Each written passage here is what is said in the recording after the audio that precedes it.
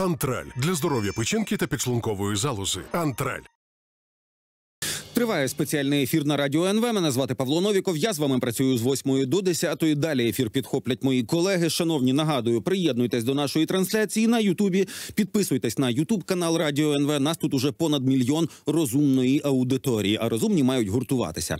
Зараз з нами на зв'язку політолог Олексій Кошель. Пане Олексію, вітаю в ефірі. Слава Україні. Героям слава, давайте почнемо з е, тих штук, коли не не так вороги, як свої, намагаються розбурхати українське суспільство. Вчорашня публікація Володимира Ар'єва, який нагадаю, колись був журналістом і мав би в принципі пам'ятати, що воно таке робота з джерелами, написав з, посиланням на якесь там джерело, що от міністр оборони Умєров подав. Значить, прохання про звільнення головнокомандувача залужного, значить, і відповідно потім він відкликав, значить, прибрав цей пост, але ну точно там було просто свято на російських пропагандичних телеканалах.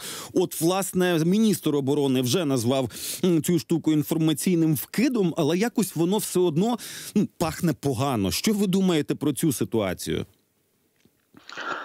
Е, я сьогодні вранці передивлявся соціальні мережі і побачив, е, ну мене цікавило на предмет виборчої кампанії, от власне як розгортається, тому що справді, от зараз така наелектризована ситуація, і забагато політиків почали грати в вибори, тому і багато антиреклами, і реклами, і спекуляцій.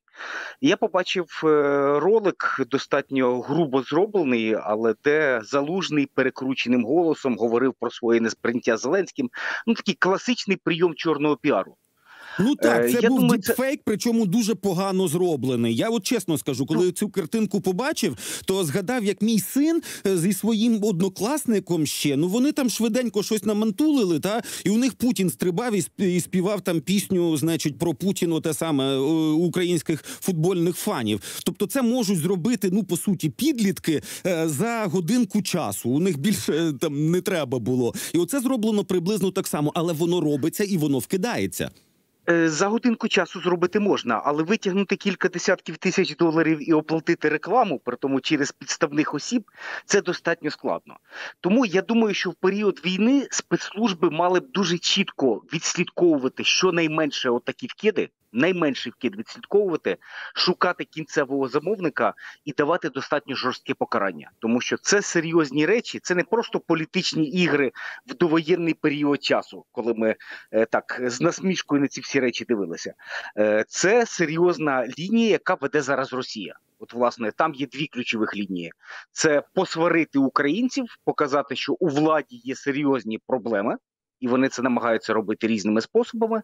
І друге, це роздути тему мови роздути тему мови, і оцей мовний конфлікт ми зараз бачимо дуже чітко, як він проходить в середовищі і проросійських політиків, і тих кандидатів, які в майбутньому можуть балотуватися, е, або з яких можуть вийти політики, які можуть балотуватися від проросійських сил.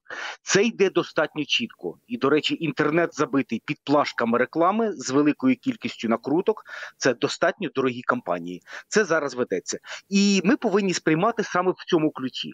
Щодо заяви Володимира Ар'єва, ну я особисто багато років знаю Володимира як фахівця, і я не думаю, щоб е, він дозволяв собі гратись із тим, що я десь почув, і я відразу виставлю там свій Ютуб, Телеграм чи Фейсбук. Тобто, принаймні, от давайте згадаємо за останні роки він е, жодних таких сумнівних прогнозів не робив. Тобто, очевидно, е, у владних командах я не виключаю, що в когось можуть здавати нерви, і дійсно якісь сценарії е, можуть можуть готуватися. Слухайте, а могло бути так, що саме для того, щоб це роздуло, і потім це красиво було е, спростовано, да Ар'єва могли в тему в темну використати, і тоді у мене знову питання: а е, чому не пропрацьований і не подумати про цей варіант? Тобі може навіть казати якась людина начебто серйозно, а ти розумієш, що там що буде далі, який буде наступний крок? Окей, ти це опублікуєш. Далі що? Окей, це доведеться спростовувати, і ти виглядатимеш якось неприємно. Таке використання в чорну. Вам не здається, що тут дуже схоже принаймні на таку ситуацію? Ну, я не виключаю будь-якого сценарію. Все може бути, коли ведуться політичні ігри. Повірте, там включаються дуже великі кошти, дуже великі впливи, і розігруються достатньо складні комбінації, як запустити інформацію. Це ж власне ціле мистецтво. Як запустити фейкову інформацію для того, щоб вона е, пішла друкуватись по серйозних медіа? Тобто це не просто когось використовують. Там ведуться е, ведуться цілі кампанії, як вивести там чи псевдокомпромат, чи псевдосенсацію, як вивести е, на інформаційний порядок денний. Але останніми днями мені взагалі дуже не подобається ситуація, коли е, ну це власне нагадує такі дуже чорні прийоми, дуже низькі прийоми, коли я бачив спекуляції навколо смерті е, помічника генерала Залужного. Це було достатньо достатньо. Е, ну, це було мерзенно, це була дискусія мерзенно. Це було нижче пояса. От я я пробую підібрати слова, і в мене в мене навіть не виходить. Але цілком зрозуміло, що ця кампанія також була не випадкова тому що випадково на смерті людини, яка б вона не була трагічною, на смерті ніхто ніколи не піариться і не спекулює. Тобто, цілком очевидно, що це була е, замовлена кампанія. Ну це все також ознаки того, що ми вернулись е, до активного політичного життя. Це власне вересень, жовтень, два місяці. Україна почала жити активним політичним життям, і ми вернулись до виборчої кампанії. Скільки президент України не спростовував, але ми бачимо, що гроші вже вкидаються. Ми бачимо, що реклама вже йде. Ми бачимо газети мільйонними накладами видаються, е, і всі живуть уже у форматі виборчої кампанії. Ну тобто, це наслідки чуток про вибори навесні чи вибори восени. Ну тобто, хоч і спростовують, але ми знаємо, що це ви так спростовуєте. А нам треба обов'язково готуватися, наелектризовувати свій електорат. І от якось воно під час війни все одно для мене ну викликає велику кількість запитань. Отак дуже кучно просто і на смерті Частякова купа всяких е, історій, припущень і розповідей про конфлікт, е, значить, в військово-політичному керівництві. Далі вже згадана вами фраза Ірини Фаріон, яка вважає, що ті, хто воює, ті, хто в окопах спілкується російською мовою, значить ті не українці. Що абсолютно ну що це неправда, тому що навіть та стаття, яку вона назвала, і те, що справді написано в законі про збройні сили України, не відповідає тому, що сказала пані Ірина. І от тепер уже оця історія з фейковим, нібито поданням на звільнення залужного дуже кучно. Ну, це показує лише одне: що, по-перше, по-перше, е, кампанія, от хотіли ми того чи не хотіли, виборча кампанія вже розпочалась. От якщо ми простежимо е, витрачання коштів, політичні заяви, ми бачимо, що вибори де-факто розпочалися. Хтось готується всерйоз, хтось готується про всяк випадок, хтось припускає, що можуть бути. По-іншому припускати не можна, тому що Володимир Зеленський е, закликав закликав українців, що вибори не першочергове завдання. Нам потрібно думати над обороною держави. Е, президент був правий, але він мав би звернутися насамперед до своїх союзників, звернутися до пана Стефанчука, до пана Кулеба, не до опозиції, а саме до них, що не грайтесь у вибори. Тому що заява міністра закордонних зрештою. Так, насамперед до своїх соратників, соратників, тому що заява міністра закордонних справ була досить чіткою про те, що в президенти є місяць-півтора подумати, будуть проведені вибори чи не будуть. Ну, в нас президент не монарх, він одноосібно не вирішує такі питання. Є конституція, є закон. Ну і по-друге, Володимир Зеленський сам дуже чітко сказав, що він буде балотуватися лише в разі, якщо вибори будуть проводитись в умовах режиму воєнного стану. Тобто, оці всі інформаційні ігри і провокації вони були спровоковані також такими заявами. Але для нас оцей фальстарт дуже важливий, тому що він показує, от власне, яка буде роль Росії, яка буде гра Росії у політичних процесах в Україні загалом. Тобто я не говорю там виключно про вибори, загалом про політичне життя. І ми бачимо, що зараз е, Росія не просто штучно намагається нагнітати тему мови, вона її намагається винести на порядок денних як одне з ключових завдань. Тобто русські вони отакі тугодуми, вони не придумують чогось нового. В них як стояли завдання там з кінця 90-х, там е, питання розколів в Україні по мовній лінії, так вони до сьогодні впевнені, що це питання можна е, можна розкрутити. І давайте подивимося, хто активізувався в першу чергу. От активізувались насамперед політики і не політики, які можуть в майбутньому грати роль як е, грати роль як така проросійська політична колона. Ну, перший включився в мовне питання Бойко, Юрій Бойко. Угу. Він е, півтора роки він боявся сказати жодного слова. Він боявся кашлянути. Він робив все можливе, щоб сподобатись владі, а іншими словами, щоб він просто залишився цілий і неушкоджений і фізично, і, і політично. І тут він не просто зустрічається з таксистом, який потрапив в цей мовний скандал, а він, е, очевидно, його політична сила запускає рекламу. Зараз забитий інтернет з написом реклама, тобто оплачені кошти, де саме вказуються і майбутні фактично гасло виборчої кампанії. там... Е, рівність. Я вже не пам'ятаю точно, як воно звучить, е, тому що для мене це цинічні слова, їх складно запам'ятовувати. З іншого боку, це намагання роздути мовну тему. Другий включається хто? Арестович, який знову ж таки е, намагається е, спекулювати спекулювати активно на темі мови. Наступний включається як не дивно Олександр Усик. Тобто він зараз думає не тільки про е, ключовий поєдинок боксерський в його кар'єрі, а він також намагається включитись у мовну тематику. Тобто він дає публічну відповідь Фаріон е, та інше. От тут ми маємо не забувати, що е, Олександр Усик він не просто, е, от як на мене, просто талановитий легендарний боксер, але він також відомий своїми чіткими проросійськими позиціями. Тобто свого часу, це не так давно, е, під час війни, 2018 рік, він проводив боксерський поєдинок в Москві. Е, він входив до складу російського православного руху, який називається 40-40. А це така дуже специфічна е, каста в середовищі Російської православної церкви, яка в тому числі і відома відстоюванням ідей руського міра, виступом проти ЛГБТ, підтримкою сепаратистів в Донецькій області. Е, оце власне такий достатньо сумнівний рух. І тому я не виключаю, якщо Усика е, також е, захочуть використати у виборчій кампанії, можливо, як vip персону, а можливо, навіть як кандидата в президенти. Тобто не можна виключати нічого, тому що такі політичні кадри проросійські вони також повинні оновлюватись. Тобто, іншими словами, ми бачимо, що ця проросійська колона вона нікуди не зникає. Вона нікуди не звикає. Вона можливо змінюється, трансформується, але навіть зараз вона починає роздувати оце мовне питання. А щодо Ірини Фаріон, ну знаєте, є категорія завжди, е, так давайте все-таки вона жінка, скажімо, м'якіше, корисних і дуже нерозумних людей. От їх називають корисними ідіотами. Е, їх не потрібно заохочувати, їх не потрібно провокувати. Вони самі завжди створюють провокації. Тому я думаю, що з Іриною Фаріон найкраще нам всім громадянам просто не помічати цієї людини. Вона вже не політик, не помічати її. А по-друге, ну я думаю, що тут все таки львівський політех мав би зробити висновки, і е, з цією людиною потрібно прощатись як викладачем. От вона повинна піти на політичну пенсію, ми повинні про неї забути.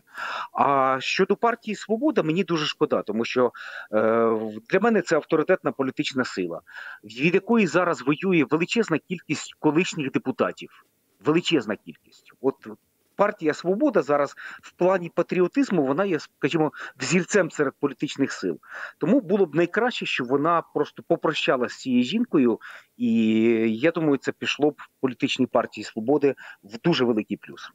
Е, добре, давайте тепер до важливої події сьогоднішньої. Значить, є вже підтвердження, в тому числі е, від кореспондента Радіо Свобода, значить, в штаб-квартирі ЄС. Пан Йозвяк це підтвердив. Є вже заява від президента України, що от 8 числа буде якесь е, буде висновок Євросоюзу щодо використання виконання Україною рекомендацій Єврокомісії. Зараз по тих документах, які вже з'явилися. Ну так ще не затверджені, але ще не презентовані скоріше, але вони вже напрацьовані. Сказано буде, що чотири критерії Україна виконала, а по трьох ще треба допрацювати. От, власне, цей хід до Євросоюзу і сподівання української влади що вже в грудні ми зможемо розпочати сам процес перемовин, тобто від статусу кандидата перейти до статусу почали перемовини. Що ви думаєте про про невиконання чи неповне виконання оцих трьох останніх критеріїв? Там, де і боротьба з корупцією, і деолігархізація, і там ну національні меншини? Е, отут у нас насправді дуже велика проблема, і це проблема е, такого або дуже спрощеного розуміння, або намагання переграти європейців. От ми їх тут обдуримо, ми їх тут перехитримо. Отакий дуже примітивний спрощений формат. Е, Я хочу нагадати, що близько місяців тому була ціла піар-кампанія від керівництва фракції Слуга народу. Від керівництва депутатської фракції ціла кампанія про те, що ми виконали 100% вимог європейців. Оце слово 100% воно пройшло через шпальти всіх українських видань. це була ціла серія.